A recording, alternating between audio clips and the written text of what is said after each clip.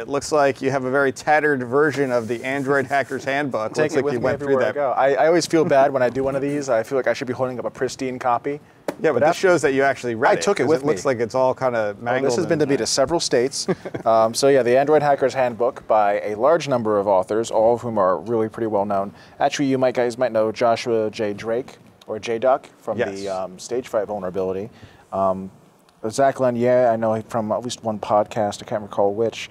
And then Stephen Ridley, uh, formerly of Xipiter, is a, well-known hardware hacker as well. So this, there's a, a bunch of really big names in this book, and I, I apologize if I'm not mentioning them all from personal experience, but this is a serious book. This, of all the books that I've read so far, I keep saying this, each new book is a new list of, a new record number of, of notes pages I had to write just to keep this all straight. 12 pages handwritten was this one, and this was a beast. This will teach you a lot about the Android security model, app permissionings, the different attack uh, surfaces of Android, and it goes into deep detail. Uh, it's, it's great that you have so many different people because I think each one of them has a very specific area of focus. Right. But reading this is like opening a fire hose because you've got like several experts telling you everything you need to know about an entire operating system, which is great, but it's a lot to get through.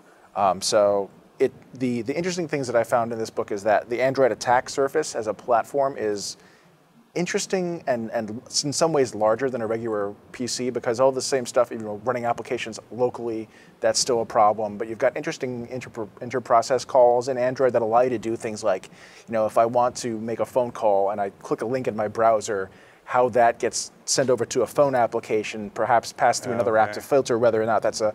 There's all sorts of like little interesting inter-process things that can happen on Android that make it an interesting attack target.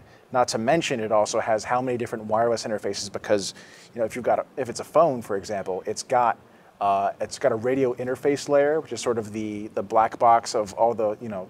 You treat it like this one separate part of the, it's like the, the baseband on a cell phone. Right, right. The, the radio interface layer is kind of an interesting, complex thing because it, it handles a lot of that communications between baseband and, and main operating system. But then you've got things like NFC, Bluetooth, Wi-Fi, yeah. uh, GPS, if you wanted to go into it. That's technically uh, an attack vector, but it takes a little more work to do that, I think.